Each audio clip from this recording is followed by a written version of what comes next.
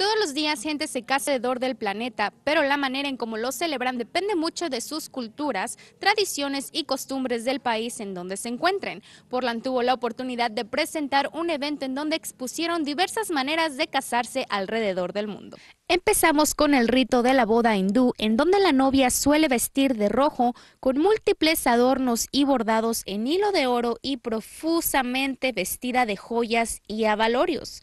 Las novias no conocen a sus novios sino hasta el día de la boda, ya que son los padres de ambos quienes toman esta decisión entre ellos.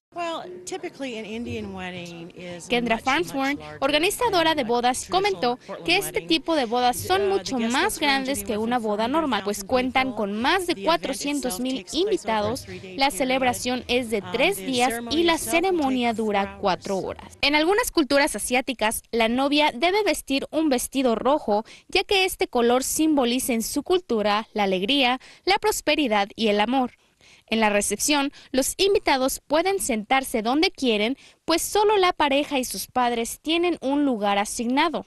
Los novios son anunciados por el maestro de ceremonias, quien notificará que ya son marido y mujer, pero en lugar de un beso, se inclinan lo más que pueden en señal de amor. Normalmente las bodas rusas se celebran durante dos días. La mañana de la boda empieza con el llamado rescate de la novia, en donde el novio va a rescatar a su futura esposa.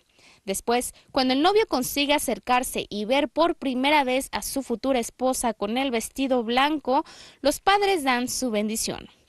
Llegando al salón, los novios son recibidos por los padres con una gran rosca de pan y un salero, felicitando a los novios e invitándolos a probar el pan, pues según tradiciones, el que dé el bocado más grande será quien mande en la casa. Y finalmente en las bodas latinas todos conocemos la costumbre de tirar el ramo de novia, cortar el pastel, partir de luna de miel y sobre todo el ponerse un vestido blanco.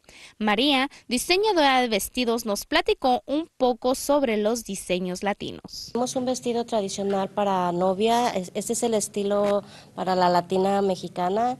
Este es básicamente un vestido que trae una cola pegada con su velo tradicional. De la falda no son tan tan simples, tienen un poquito más de decoración, más diseño. Tenemos música de salsa y tenemos mucho comida de México y adentro tenemos uh, un grande mesa para el novio, la novia y un buffet de dulces. Este evento demostró una vez más que Estados Unidos es un país multicultural y aquí pudimos apreciar la forma en que diferentes países celebran lo que es uno de los mejores días de nuestra vida. Regresamos con más de Cita con Eli.